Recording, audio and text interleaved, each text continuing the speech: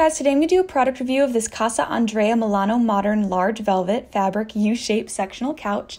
So as you can see, you can easily pull the pillows away from the frame and it kind of is held on by a Velcro.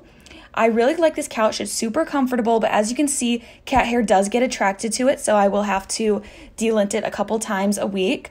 Um, as you can see too, I've had it for about a year, so the pillows have kind of gotten a little squished.